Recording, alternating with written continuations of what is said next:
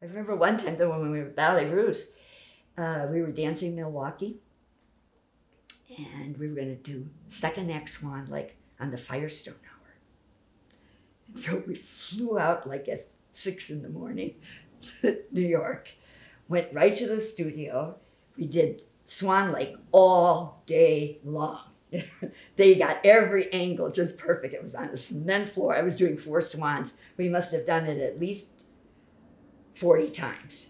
They got it right. And then at night it went on live, and I could still see our principal dance. She was so tired. She had all she could do to, you know, keep control. And then we flew back, but oh, we were so delighted. We earned so much money.